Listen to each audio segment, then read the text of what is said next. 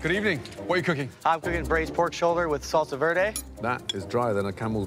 Every time we turn on the TV and go through the Food Network, the Food Channel, or the Lifestyle Channel, we see the numerous faces, and of course scrumptious dishes, of our favorite celebrity chefs. Their exuberant personalities, the twinkle in their eyes, you know that someone who's so passionate about food and culture must just be great as a person as well.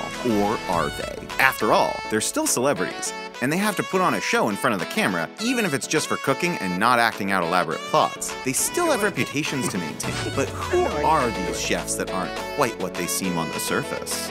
Let's take a look. Paula Deen. That's how I raised my children. That's how I was raised. And that's how my grandchildren are being raised.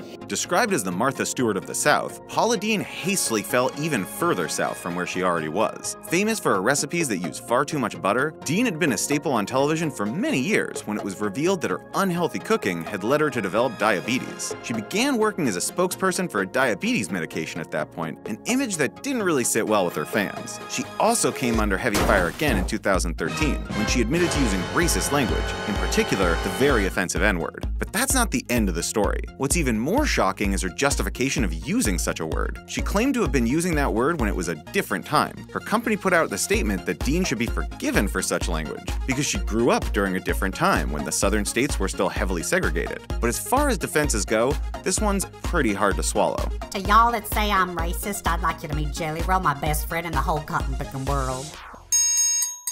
Guy Fieri, This is what it's like when the big weenie starts to have a meltdown. If Guy Fieri's gimmicky food, crazy It's hair, and the be many lit. bad reviews his restaurants have received haven't already put you off the guy, then perhaps his attitude will. Though he's still quite popular, his shows still regularly air on television after all. Fieri's developed a reputation that's a lot less nice than the food he cooks, which is really saying something given the aforementioned bad reviews of his restaurants. According to Diners, Drive-Ins, and Dives producer David Page, Guy Fieri was very difficult to work with and had an overly inflated ego. And rumors swirl that he's a little insecure in his sexuality too. He reportedly said, You can't send me to talk to gay people without warning. Those people weird me out. Unbelievable. All in all, he's been called ridiculous and he's been accused of single handedly destroying the Food Network, among a slew of other less than flattering things. This is ridiculous. Guy Fieri's tweet that he was on his way to a Nickelback concert. that was like the funniest thing. Of course. Rachael Ray.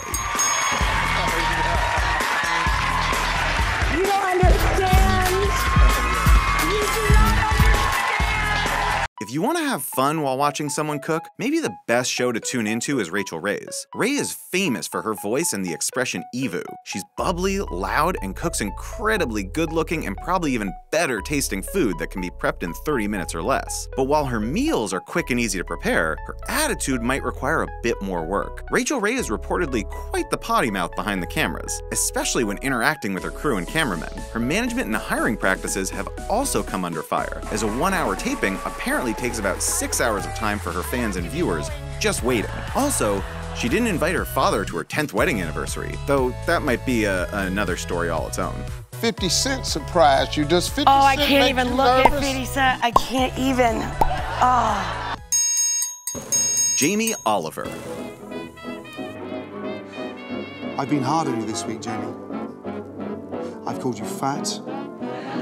Remember Jamie Oliver's crusade against all things bad and unhealthy? When he showed kids the truth about how chicken nuggets are made? When he just wanted people to go organic and healthy? Doesn't he just sound amazing and exactly the kind of person you would want to look up to? Well, maybe in the cooking world, but in other aspects of his life, uh, not so much. In particular, a lot of women didn't find his remarks about breastfeeding pleasant. On a radio show, Jamie talked about how breastfeeding was easy and convenient and more nutritious and free, which doesn't seem that bad on the surface, but many women felt that man has no place explaining how easy breastfeeding is. It's not easy or pleasant for everyone, and many women accused him of mansplaining breastfeeding to them. One listener responded with, we didn't know what to do with our nipples until Jamie Oliver popped his head above the parapet. I guess that one made him look like a bit of a boob. By the way, they, they, it gets so much darker than that. Rocco DiSpirito. Big Oh, yeah. fat spaghetti, and it makes a cute slurpy noise when you go to suck it up. It's adorable.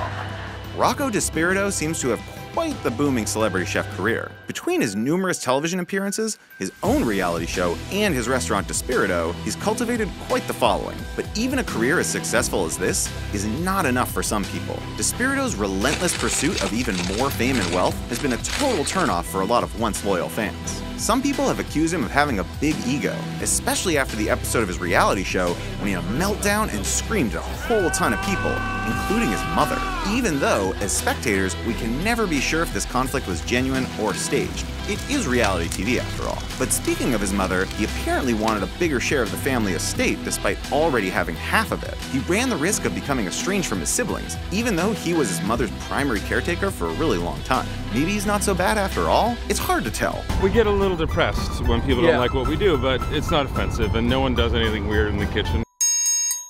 Mario Batali. You have reached the pinnacle of success. You were a character on The Simpsons this weekend. It's true. We may have tuned into Mario Batali for his expertise in Italian cooking and other recipes, but he's definitely not the guy to look to as a model for how to behave. First, he and his business partner were sued by their waitstaff. Apparently, they'd been skimming 5% off the waiters' tips. Talk about bad management practices. Didn't you feel horrible at um, you're right. Bobby Flay. Know what you got? Come on, Anthony. I hate winning. We all loved Bobby Flay at some point. First, he's really charismatic, good looking, and has great recipes. Who doesn't want to watch a bit of throwdown with Bobby Flay when feeling under the weather? Who doesn't want to see him go head to head with other chefs on Iron Chef America? And it's not only us commoners, even celebrities like Scarlett Johansson like to hang out with him. But is he all that behind cameras? Apparently, his ego's quite inflated. Reportedly, after beating Chef Morimoto, Flay stepped on a cutting board, which is, you know, rude. Everyone knows Morimoto considers the cutting board to be sacred. Wait, did, did we know that? Never mind. Allegations of cheating on his wife of 10 years have sprung up too, as well as reports that he asked assistants to stay with her instead when she was rushed to the hospital. Okay. Yeah, I put oh, in. Oh, you blaming it on me? No, I'm. I'm. All right, give this a taste. Okay. Anthony Bourdain. The doors open. There's Steven Seagal in like a little Nancy Kwan outfit with a prayer rug holding his massive girth. Just looking at Anthony Bourdain makes us think that he's some sort of classy, cultured traveler, which he is because, you know, he's been around. He's well known for both his extensive travel experience and his cooking. His globe-trotting adventures are fantastic to watch. He makes us want to be cultured, well-traveled foodies with the wind in our hair and lots of food on our plates. But is he as awesome of a person as he seems? Besides his food adventures, Bourdain is also known for his numerous feuds. He fights with just about everyone. Rachael Ray, Paula Deen, Emeril Lagasse, and Guy Fieri. In fact, He's called Fieri a douche on more than one occasion. He also doesn't seem to like the Food Network very much, and had some very unsavory things to say about it. He's been described as vulgar and macho on many occasions. Do you see a time where you might kiss and make up with Paula? What would that take? Please. Nuclear war. Giada De Laurentiis. Man, she has a lot of teeth.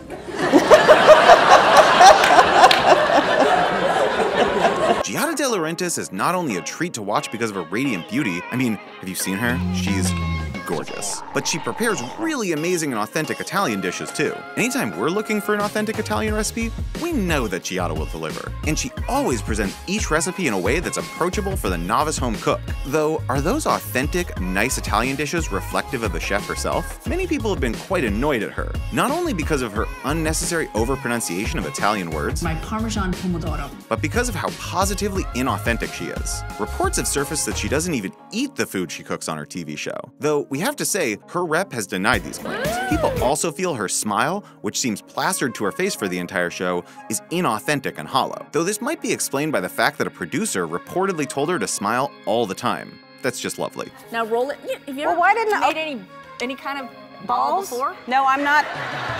It's Nicole. Ina Garten.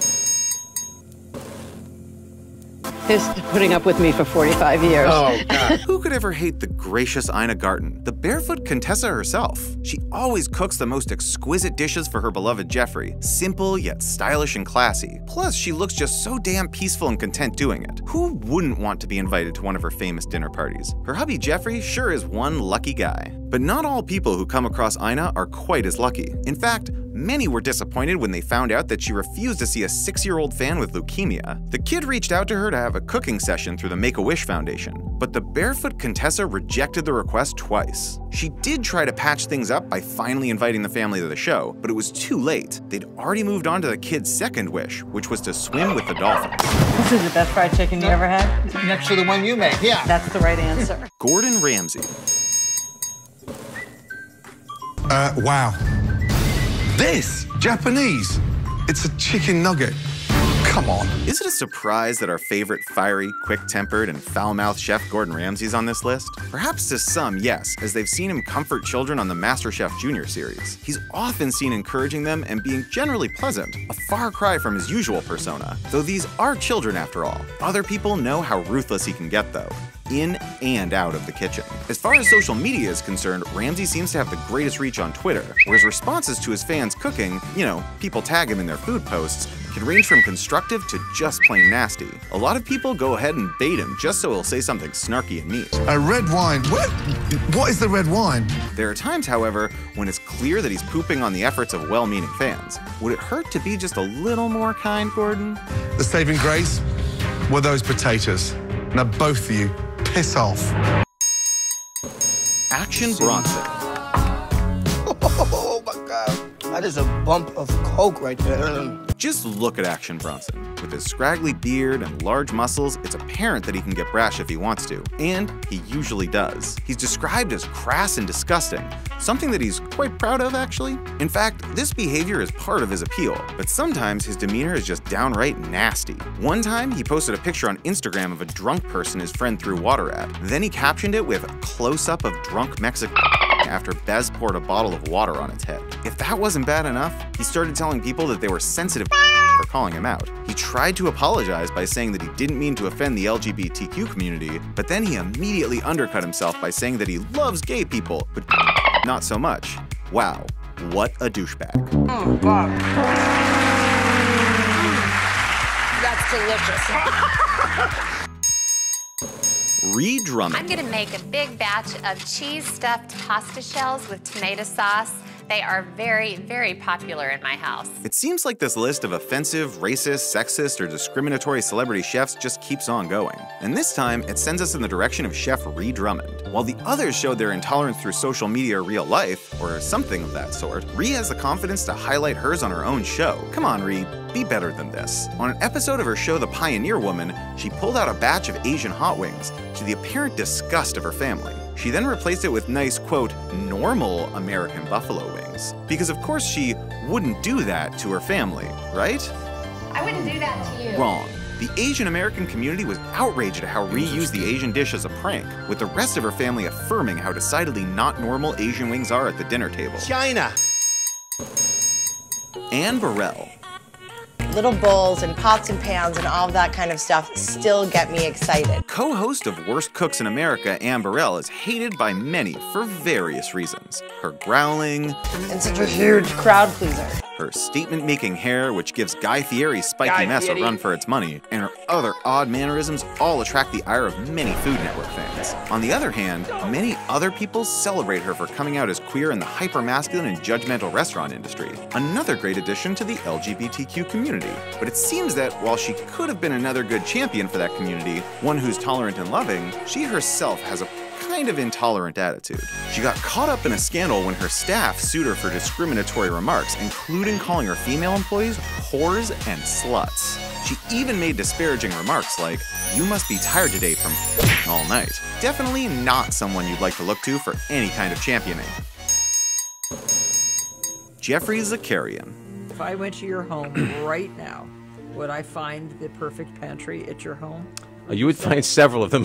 Geoffrey Zakarian is a pretty big player in the industry. One look at his crisp suits or his appearances on Chopped and Iron Chef America tells you all you need to know. He's really made it. But this man is not without his controversies. Described as having major cooking skills, he seems to be sorely lacking when it comes to his management skills and looking out for the welfare of his employees. He may have made it big for his cooking, but his name also made headlines for less savory incidents. He's been sued by his employees on the ground of gross violations of labor laws, as apparently he'd not been compensating them fairly. He was also accused of doing things like falsifying pay records or not paying enough for overtime. His restaurant, The Country, closed down after he filed for bankruptcy in response to the class suit. How the mighty have fallen. We promise we're as nice as we seem in these videos. So go ahead and hit that subscribe button and click oh that notification bell for a chance to win an iPhone X. Thanks for watching and catch you next time.